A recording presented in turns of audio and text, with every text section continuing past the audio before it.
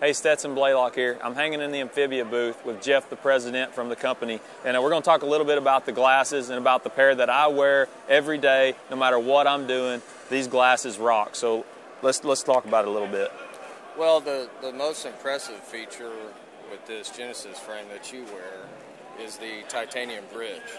And what's so great about the titanium bridge is there's quite literally a piece of titanium that comes across here which allows you to adjust for the width. So whether you got a wide face or whether you got a small face, either way, this one frame will fit you.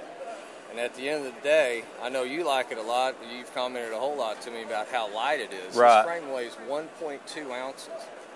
Um, so there's absolutely no fatigue. I know I wear these all day, every day, from the time the sun comes up till it goes down, and you don't even know they're there. It's just like it, there's nothing on your face at all. And and what's cool about it to me is the lens technology that they use. Touch a little bit on that.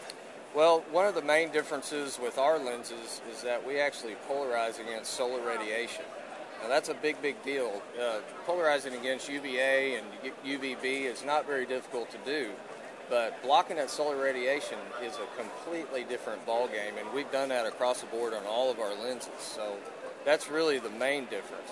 In addition to that, all of our lenses, regardless of which ones you pick, are all ANSI rated, so they all have a, the impact rating on them. Yeah, and what, what I like about that lens is other glasses that I've worn in the past, you get off the water, you take them off, you get in your truck, your eyes hurt, they're stressed out, fatigued from long days on the water, but not with these guys. Whatever they've got figured out, they're doing it right. So be sure and check them out at amphibia.com.